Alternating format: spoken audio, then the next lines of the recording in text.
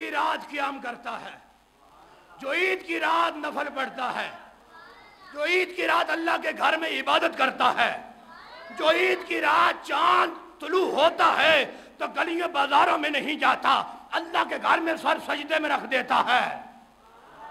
जो ईद की रात इबादत करता है, मेरे आका फरमाते, लम यमुत कल्बहू, उसका दिल मुर्दा नहीं होता, योमा तमूतुल कुलूब जिस दिन सब दिल मुर्दा हो जाएँगे, जो ईद की रात इबादत करेगा, इसका दिल तो उस दिन भी ज़िंदा रहेगा।